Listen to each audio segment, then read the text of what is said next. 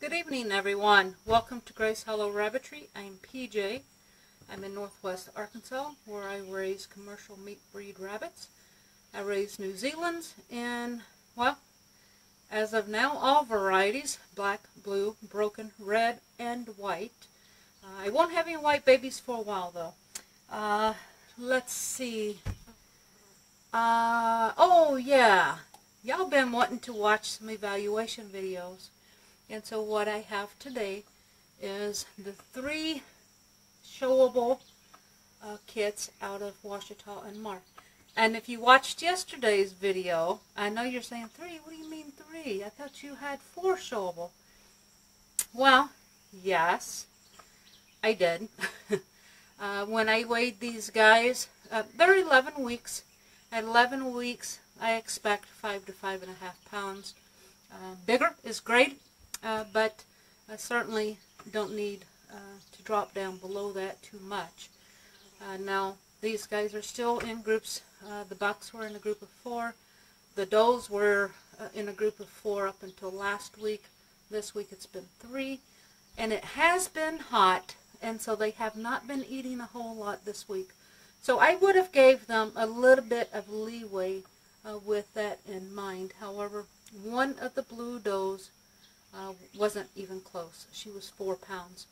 Now that's probably because she had three bigger sisters pushing her away. But um, either way, uh, I believe in uh, fit of the fittest. Uh, uh, you know, the strongest survive is what I believe in. And in this case, she was very small, four pounds at, uh, you know, right at 11 weeks, 10 and a half, 11 weeks, somewhere in that neighborhood. I expected at least close to five pounds, and she was four pounds on the mark. So, she's no longer with us. Uh, she will become dinner. So, with that said, we ha do have three uh, remaining uh, that was close enough in weight. They were a little lower than I would have liked to seen, uh, but again, for those reasons I told you, um, it's been close to the 90s all week. Uh, no one's eating. They're just kind of staying cool. Uh, and they are in uh, shared coops for, for now, for another week. Next week they have to get divided uh, because they'll be 12 weeks old. So uh, let's go ahead and evaluate the three remaining kits.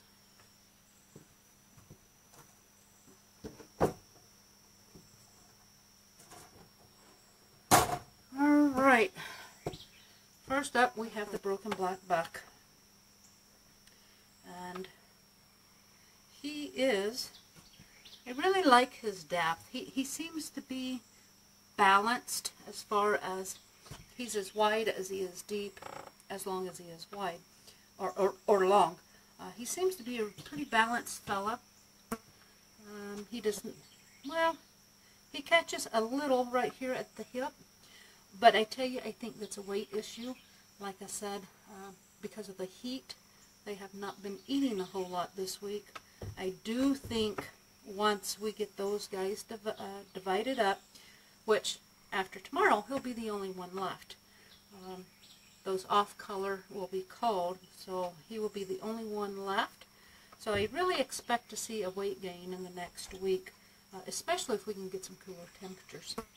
Uh, he's got a pretty nice fur. He's got a baby fur, of course, but he's got a clean, crisp um, marking.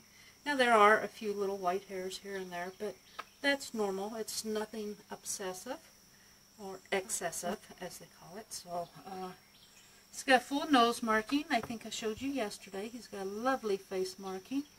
And so this guy uh, does, in fact, deserve a little more time to grow out. Uh, this is still pretty young, but I do like to evaluate them so that I'm not wasting time on something that's not going to be worthy. And uh, this guy has no reason to be concerned. Uh, right now, all he needs is time. So I'll look at him again. Well, I'll look at him off and on briefly um, as time goes by. But I'll pull him out and take another real good look at him at about 14 to 16 weeks at that time, we're going to start seeing more development. Let's go ahead and take a look at the girls. Isn't that right, little fella? You need a tattoo and a name, don't you? I think I'll do that tonight.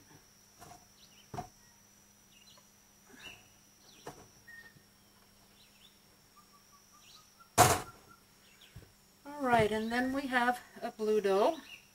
And uh, just like her brother, she is a little under the mark where I would have liked to seen them. Uh, but I'm going to give her some extended time. Um, now, right now, she is young. I think she's going to be a little bit narrow right through here. Um, she just feels narrow. I will give her some time and see what happens. Uh, but she's got some pretty decent depth about her. And, oh, I guess I should have showed you the back side. There we go. I can't see it, but hopefully I've got her where you can see. There we go. Now, I can't tell you, so let me turn around and I'll take a look. There we go. Tuck your feet under your hips. There you go. Alright, so she is full at the table and she's kind of wide here. It's here where I think she might be failing. Um, right through here in the top of the loin, I think she might be a little bit narrow. But she's got a great coat, good density, good color. Um, this can fill in. Um, so we'll give her some more time. Again, I don't see anything that just cuts her out. Um, I think I checked her toenails before, but we'll look again. Yes, blue toenails for sure, no doubts. Uh, if it's going to be white, it's going to be on this front paw, that toe, every time. But we want to go ahead and look. Yeah, so all her toenails are blue. I think I looked when she was six weeks old at weaning time. Uh, yeah. Alright, good job. Good job, girl. Now again, she was a little bit under, uh, but uh, she's going to get the same benefit of doubt that our brother did because she is sharing a pen with three other girls. And it's been hot. No one's eating.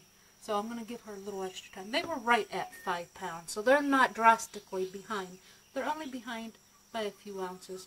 Uh, at 11 weeks, and they're not quite 11 weeks. Uh, they're like 10 weeks and 5 days or something, 4 days or 5 days. So 5 to 5 and a half pounds is where I would have liked. And they were just um, right at 4, 412, 415, and 5 pounds on the mark. I think one of them was maybe 5'1". Uh, the black doe, I think, was 5'1". So they're not drastically behind, um, only by a few ounces uh, for the minimal. I would have loved to seen them at five and a half or greater, but we didn't make that.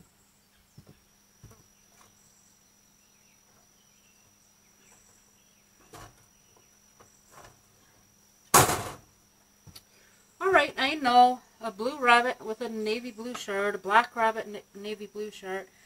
I apologize for that. Oh, now this one I like. I like this one way more uh, than the others. The others were not bad, but they, they, they needed to improve.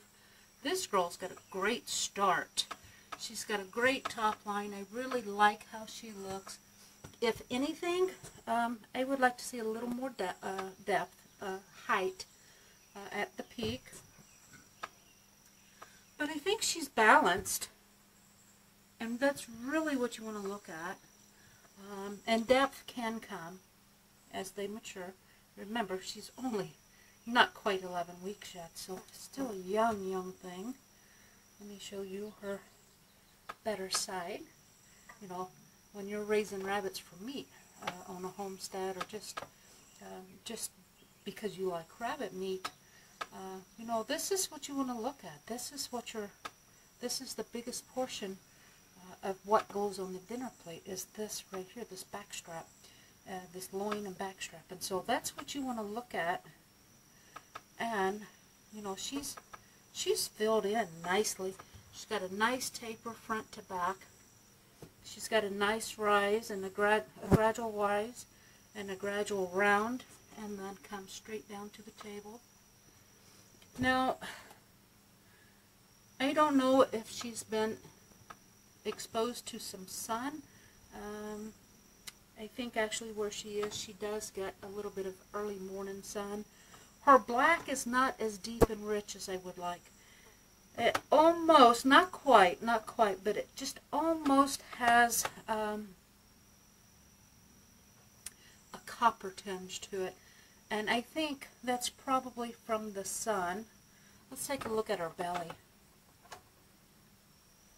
See, there's no copper brassiness. That's the word to use. There's no brassiness on the belly. So I think that is um, probably sun across her back here that gives her uh, just a touch of brassiness. Uh, now, I think I checked her at six weeks, but what I want to check for again is a white navel spot.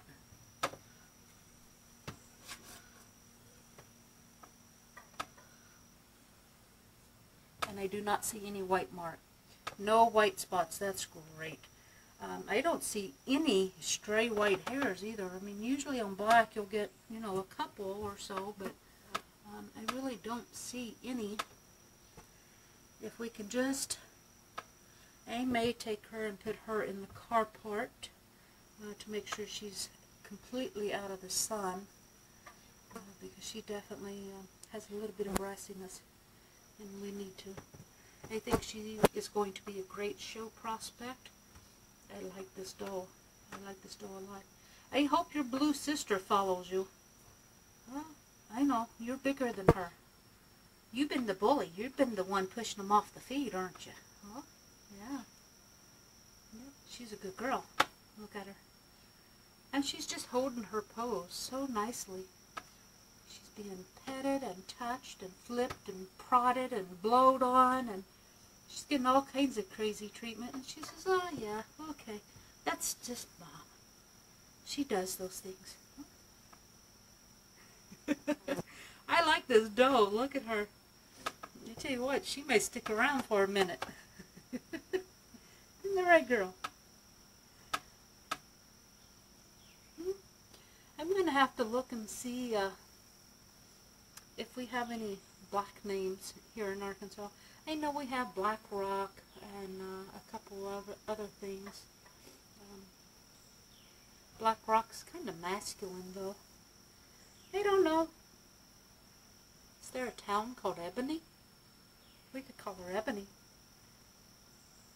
Yeah, I don't think there's an Ebony. We'll have to look. Alright guys, uh, down below I'm going to leave some links. One will be to my web, web page uh, where I will list available rabbits as they come available. And I will also have a link there uh, to the website that also has my show schedule. So if I have any uh, rabbits available that you're interested in, and I'm going to be at a show near you, I'm always happy to deliver uh, rabbits to a show or along the route on my way there. Uh, I'm also going to leave a link to our Facebook fan page. So, so be sure to check that out. I, I just had a thought. Uh, I've been working out in the garden. I've been working out in the rabbitry. I've been I've been working since 7.30 this morning. And it just dawned on me, I started filming this video, and I have not gone in the house to look at the mirror. I'm probably a mess. My hair's probably poking out everywhere. I probably have rabbit poop smeared all over me.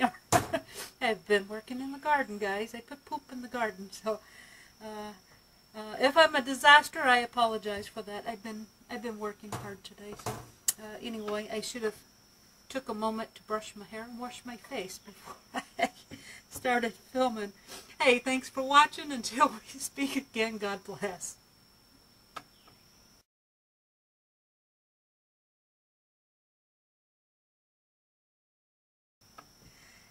Little girl. I like you. Uh, you're a pretty girl. Well behaved, too.